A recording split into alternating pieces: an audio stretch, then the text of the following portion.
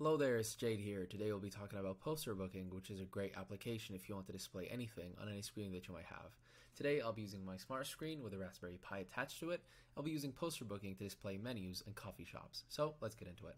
First off, we need to connect our screen, so we're going to go to Add Screen, hit Add Screen again, and when you open the app for the first time, there will be a code. We'll enter this code here, give our screen a name, and hit Add Screen. I already connected mine, Pi Screen, as you can see here. Next, we're going to go to Content, Image slash Videos, and here we will upload the pictures that we want to display. I already uploaded this one. Next, we're going to go to Playlists, create a playlist.